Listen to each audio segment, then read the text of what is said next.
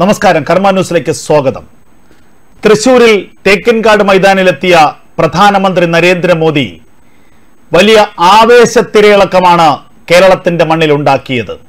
സ്ത്രീശക്തി മോദിക്കൊപ്പം എന്ന പേരിൽ നൽകിയ പരിപാടിയിൽ നാരീശക്തി വിളിച്ചോതുന്നതായിരുന്നു ബി ജെ പിയുടെ സംഘാടനം.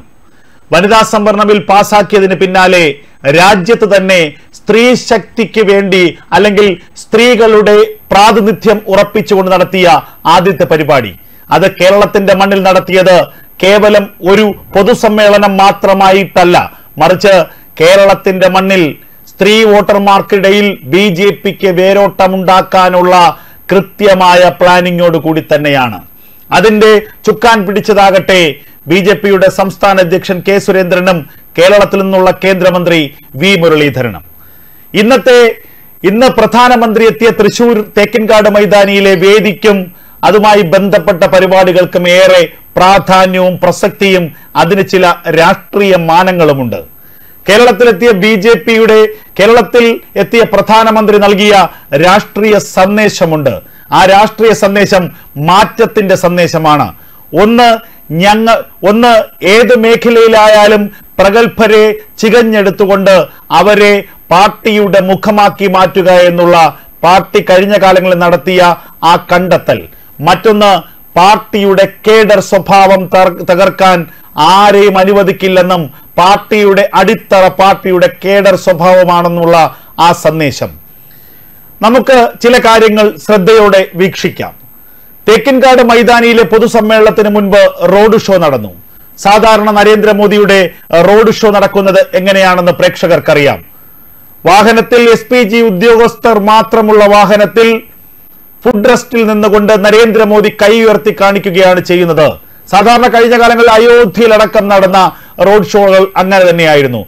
ഏതെങ്കിലും ഒരു നേതാവിനെ ആ റോഡ് ഷോയുടെ ഒപ്പം നരേന്ദ്രമോദി പങ്കെടുപ്പിക്കാറില്ല. അല്ലെങ്കിൽ സുരക്ഷാ കാരണങ്ങളാൽ അത്തരത്തിൽ മറ്റൊരു നേതാവ് ഉണ്ടാകാറില്ല. അപൂർവം ചില അവസരങ്ങളിൽ അതായത് തെരഞ്ഞെടുപ്പ് പ്രചരണത്തിന്റെ കൊട്ടിൽ കലാശത്തിലോ തെരഞ്ഞെടുപ്പ് പ്രചരണവുമായി ബന്ധപ്പെട്ട ഏറ്റവും നിർണായകമായ റോഡ് ഷോകളിലോ മാത്രമാണ് ബി ജെ പിയുടെ ദേശീയ അധ്യക്ഷനെയോ അല്ലെങ്കിൽ സംസ്ഥാനത്തിന്റെ ചുമതലയുള്ള മന്ത്രിമാരെയോ ഒക്കെ അദ്ദേഹം റോഡ് ഷോയിൽ പങ്കെടുപ്പിക്കുന്നത്. പക്ഷേ ഇവിടെ എല്ലാത്തിൽ നിന്ന് വ്യത്യസ്തമായിരുന്നു. ഇവിടെ റോഡ് ഷോയിൽ അദ്ദേഹം ഒപ്പം നിർത്തിയത് ബി ജെ പിയുടെ സംസ്ഥാന അധ്യക്ഷൻ കെ സുരേന്ദ്രനെ ആയിരുന്നു. ഒപ്പം തുല്യ തുല്യ പ്രാധാന്യത്തോടെ വലതുവശത്ത് ചേർത്ത് നിർത്തിയത് കെ സുരേന്ദ്രനെ. പുറകിൽ സുരേഷ് ഗോപി ഇടതുവശത്ത് മഹിളാ മോർച്ചയുടെ സംസ്ഥാന അധ്യക്ഷ സി നിവേദിത. കൃത്യമായ സന്ദേശം തന്നെയാണ്. പാർട്ടിയുടെ പാർട്ടിയുടെ സംസ്ഥാന അധ്യക്ഷനെയും മഹിളാ മോർച്ചയുടെ സംസ്ഥാന അധ്യക്ഷയും ചേർത്ത് നിർത്തിക്കൊണ്ട് റോഡ് ഷോയിൽ പങ്കെടുപ്പിച്ചുകൊണ്ട് പാർട്ടിയുടെ ഔദ്യോഗിക വിഭാഗം അല്ലെങ്കിൽ പാർട്ടിക്ക് ഒരു തീരുമാനമേ ഉള്ളൂ. പാർട്ടിക്ക് ഒരു നേതൃത്വമേ ഉള്ളൂ. അതിന് രണ്ടഭിപ്രായമില്ല എന്നുള്ള വലിയ സന്ദേശം നരേന്ദ്രമോദി നൽകുന്നു. സുരേഷ് ഗോപിയെ ഒപ്പം ചേർക്കുന്നത് തൃശൂരിന്റെ മണ്ണിൽ സുരേഷ് ഗോപിക്ക് സ്ഥാനമുണ്ട് എന്ന് ജനങ്ങളെ ബോധ്യപ്പെടുത്തുക. എത്രമാത്രം കേന്ദ്ര സർക്കാരിന് സുരേഷ് ഗോപി പ്രാധാന്യമുള്ളയാളാണ് വേണ്ടപ്പെട്ടയാളാണെന്ന് ആ- അവിടുത്തെ നാട്ടുകാരെ അറിയിക്കുക. ഇതാണ് റോഡ് ഷോയിൽ കണ്ട ഏറ്റവും വലിയ പ്രത്യേകത. അതായത് റോഡ് ഷോ നിയന്ത്രിച്ചത് അല്ലെങ്കിൽ റോഡ് ഷോയിൽ നരേന്ദ്രമോദിക്കൊപ്പം താരമായത് സംസ്ഥാന അധ്യക്ഷൻ കെ സുരേന്ദ്രനാണ് എന്നുള്ള കാര്യത്തിൽ യാതൊരു തർക്കവുമില്ല യാതൊരു സംശയവുമില്ല. അവിടെ നിന്ന് തേക്കിൻകാട് മൈതാനിയിലെ വേദിയിലേക്ക് എത്തുമ്പോൾ ആ വേദി നിയന്ത്രിച്ചതും നരേന്ദ്രമോദിയുടെ സന്ദർശനത്തിന്റെ എല്ലാം ചുക്കാൻ പിടിച്ചതും കേന്ദ്രമന്ത്രി വി മുരളീധരനുമായിരുന്നു. കേന്ദ്ര സഹമന്ത്രി വി മുരളീധരനുമായിരുന്നു. വി മുരളീധരനാണ് നരേന്ദ്രമോദിയുടെ പ്രഭാഷണം അദ്ദേഹത്തിന്റെ പ്രസംഗം മലയാളത്തിലേക്ക് മൊഴിമാറ്റിയത്. വളരെ കൃത്യമായി നരേന്ദ്രമോദി ഉദ്ദേശിച്ച കാര്യങ്ങൾ മലയാളികൾക്ക് കൃത്യമായി പറഞ്ഞു കൊടുത്തു വി മുരളീധരൻ. അതുമാത്രവുമല്ല വേദിയിൽ നിറഞ്ഞു നിന്നത് വി മുരളീധരനും കെ സുരേന്ദ്രനും മാത്രമായിരുന്നു എന്നുള്ളതും യാഥാർത്ഥ്യമാണ്.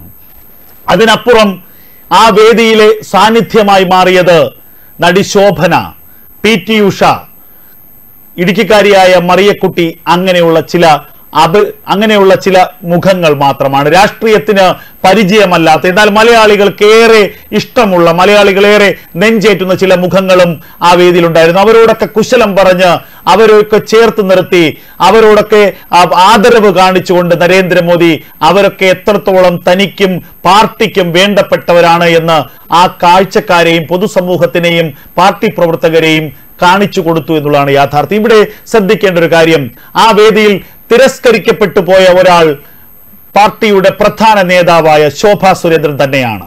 ആ യാഥാർത്ഥ്യം കാണാതെ പോകാനാവില്ല. ശോഭാ സുരേന്ദ്രന് അടുത്തിരിക്കുന്ന ശോഭാ സുരേന്ദ്രനെ ശ്രദ്ധിക്കാതെ അതിനപ്പുറം ഇരുന്ന ശോഭനയോടോ പി. ടി. ഉഷയോടോ ഒക്കെ പ്രധാനമന്ത്രി കുശലാന്വേഷണം നടത്തുന്നത് നമ്മൾ ശ്രദ്ധിച്ചതാണ്. ഒരു വേള ശോഭാ സുരേന്ദ്രന്റെ അടുത്തെത്തിയപ്പോൾ പോലും അത്രത്തോളം സൗഹൃദത്തോടുകൂടി പ്രധാനമന്ത്രി തിരിഞ്ഞുപോലും നോക്കിയില്ല എന്നുള്ളതും യാഥാർത്ഥ്യമാണ്. ഇത് ഒരു രാഷ്ട്രീയമാണ്. ആ വേദി തന്നെ ഒരു രാഷ്ട്രീയ സന്ദേശത്തിന് നരേന്ദ്രമോദി ഉപയോഗിച്ചു എന്നുള്ളത് ശ്രദ്ധിക്കണം. അതിന്റെ രാഷ്ട്രീയം നമ്മൾ പറയാതെ പോവുകയോ കാണാതെ പോവുകയോ ചെയ്തിട്ട് കാര്യമില്ല. ആ രാഷ്ട്രീയം ഇതാണ്.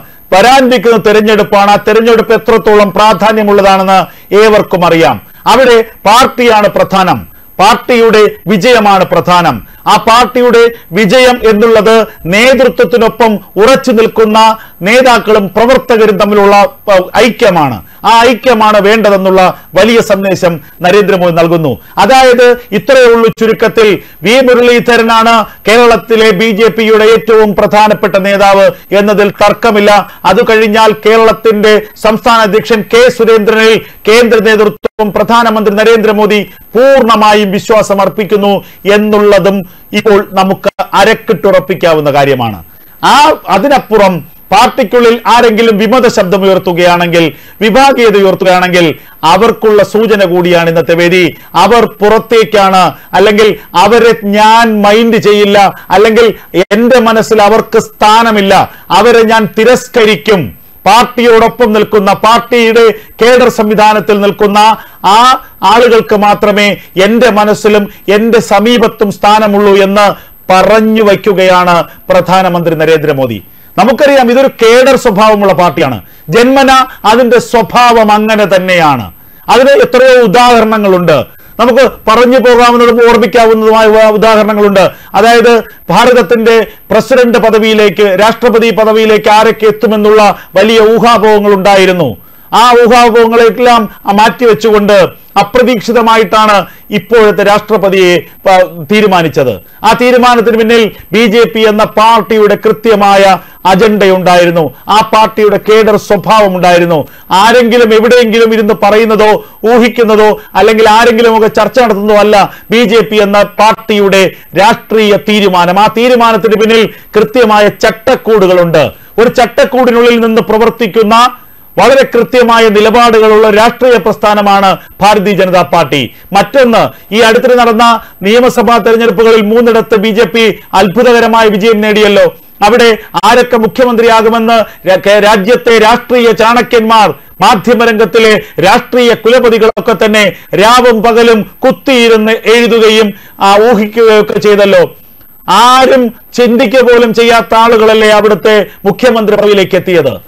അവിടെയും ബി ജെ പി എന്ന രാഷ്ട്രീയ പാർട്ടിയുടെ കേഡർ സ്വഭാവമാണ് വെളിപ്പെട്ടത്. ആ പാർട്ടി എത്രത്തോളം കെട്ടുറപ്പുള്ളതാണ് ഒരു തീരുമാനമെടുക്കും ആ തീരുമാനം നടപ്പാക്കും. ആ തീരുമാനത്തിനപ്പുറം അവിടെ എതിരഭിപ്രായമുണ്ടെങ്കിൽ ആ എതിരഭിപ്രായങ്ങൾക്ക് പ്രസക്തിയില്ല. പാർട്ടിയുടെ തീരുമാനത്തിനാണ് പ്രസക്തി പാർട്ടിയുടെ വിജയത്തിനാണ് പ്രസക്തി. കഴിഞ്ഞ കാലങ്ങളിൽ ബി ജെ പിയുടെ വളർച്ചയും വിജയവും എല്ലാം അത് തന്നെയായിരുന്നു. ഗുജറാത്തിൽ നിന്ന് നരേന്ദ്രമോദി എന്ന് പറയുന്ന ഗുജറാത്തിന്റെ മുഖ്യമന്ത്രി ഇന്ത്യയുടെ പ്രധാനമന്ത്രിയാവുകയും ലോകത്തിലെ ഏറ്റവും സ്വീകാരണം ഏറ്റവും ശക്തനുമായ ഒരു രാഷ്ട്രീയ നേതാവായി പരിവർത്തനം ചെയ്യുകയും ചെയ്തത് ഈ സ്വഭാവത്തിലൂടെയായിരുന്നു. അതായത് സംഘപ്രസ്ഥാനങ്ങളിൽ നിന്ന് നേടിയെടുത്ത ആ തികഞ്ഞ നിശ്ചയദാർഢ്യം ആ അച്ചടക്കം പ്രസ്ഥാനത്തോടുള്ള കറകളഞ്ഞ കൂറ് പ്രസ്ഥാനമാണ് വലുത്. അതിനപ്പുറം വ്യക്തിപരമായ നേട്ടങ്ങളെല്ലാം രണ്ടാമതെന്നുള്ള ഏറ്റവും പ്രധാനപ്പെട്ട ആ ആ ക്വാളിറ്റി ആ സ്വഭാവ സവിശേഷത ആ സ്വഭാവ മഹിമ അതാണ് നരേന്ദ്രമോദിയെയും അദ്ദേഹത്തോടൊപ്പം നിൽക്കുന്നവരെയും മറ്റുള്ളവരിൽ നിന്നും വ്യത്യസ്തരാക്കുന്നത്. അതാണ് പാർട്ടിയുടെ ശൈലി എന്ന് കേരളത്തിലെ നേതാക്കന്മാർക്ക് വ്യക്തമായി സന്ദേശം നൽകുകയാണ് ഇന്നത്തെ പരിപാടിയിലൂടെ നരേന്ദ്രമോദി ചെയ്തിരിക്കുന്നത്. ആ വേദിയുടെ രാഷ്ട്രീയം എന്ന് പറയുന്നത് തിരിച്ചറിയപ്പെടേണ്ടതാണ്. ആ വേദിയുടെ രാഷ്ട്രീയം എന്ന് പറയുന്നത് നമ്മൾ അറിയേണ്ട രാഷ്ട്രീയം തന്നെയാണ്. അവിടെ അപ്രസക്തരായി പോയവരുടെ കഴിഞ്ഞകാല പ്രവർത്തനങ്ങളും അവരുടെ കഴിഞ്ഞകാല അനുഭവങ്ങളും നമ്മൾ ചേർത്ത് വായിക്കണം. പ്രസക്തരായവരെ കുറി പ്രസക്തരായവരുടെ ചരിത്രവും നമ്മൾ പരിശോധിക്കണം.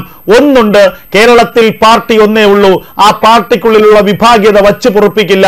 കേരളത്തിലെ പാർട്ടിക്ക് പാർട്ടിയുടെ നേതൃത്വത്തിൽ പൂർണ വിശ്വാസം ബി ജെ പിയുടെ അഖിലേന്ത്യാ നേതൃത്വത്തിനുണ്ട് പ്രധാനമന്ത്രിക്കുണ്ട്. ആ നേതൃത്വത്തിനൊപ്പം അവരുടെ പിറകിൽ ചേർന്ന് നിൽക്കുന്നവർക്ക് മാത്രമേ പാർട്ടിയിൽ അംഗീകാരവും സ്ഥാനവും ലഭിക്കൂ.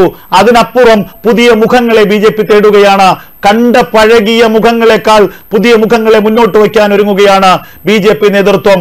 ആ നേതൃത്വത്തിന്റെ ശക്തമായ സന്ദേശമാണ് ഇന്നത്തെ തേക്കിൻകാട് മൈതാനിയിലെ വേദിയിലൂടെ പ്രതിഫലിച്ചതെന്നുള്ളത് ഏറെ ശ്രദ്ധേയമായ കാര്യമാണ്.